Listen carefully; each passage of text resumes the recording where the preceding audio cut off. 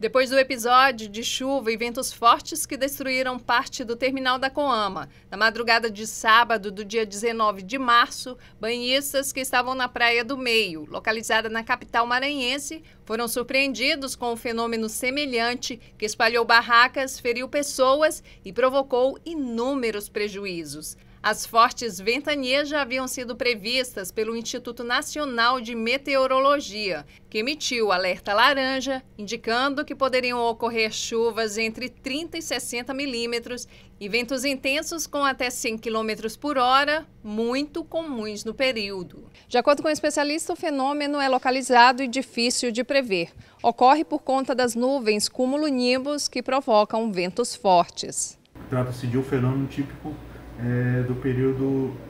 chuvoso e por ser localizado também é, muitas vezes é difícil é difícil de filmar de registrar né e só que agora nós estamos numa era em que praticamente todo mundo tem um celular e já consegue registrar então che acaba chegando mais é, para a gente a gente acaba tendo um, é, podendo classificar até melhor é, a ocorrência da, do, dos fenômenos principalmente esses que causam grande destruição